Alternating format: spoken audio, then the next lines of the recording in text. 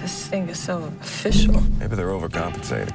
It's kind of hard to call everybody up out of the blue after two years. I'm so glad you're here. We've got a lot to talk about, so much to celebrate tonight.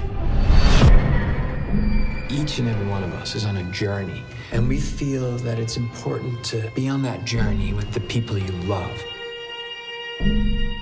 Everybody, this is my friend Pruitt.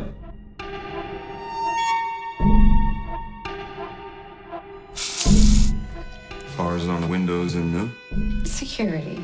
Safer. You've been acting so suspicious of our hospitality. Well, Jesus.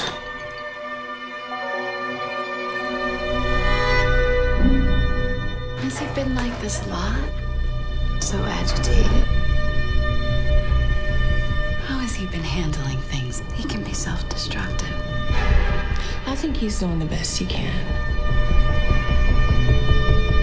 Something doesn't feel safe here. We don't see you for two years, and then all of a sudden, we get invited to this lavish dinner. Don't tell me that this is normal. What do you think is happening, Will? This beautiful moment is upon us. Tonight is the night our faith is made real.